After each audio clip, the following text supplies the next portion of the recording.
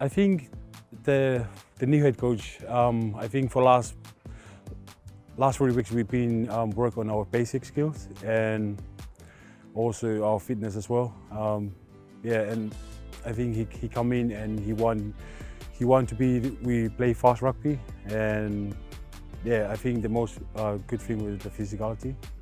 Yeah, on the field is, is, is really hard work. So everyone make sure they push each other.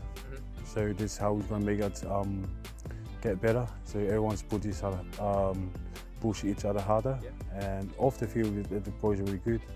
Day off, we're going off for a coffee, with a few boys. Uh, so uh, yeah, I think absolutely spot on. That the boys is, is, is they're really good. There's, they every morning we come in, we, we shake each other hands, and yeah, you you just started the day well.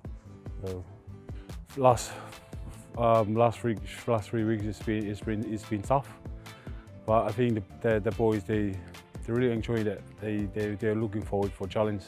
Um, yeah, I'm really excited for the um, new challenge I've got here. So I'm looking forward for for, for a challenge here, um, and also here I love I love how they play here. I think it's going to be really really good for me. Yeah.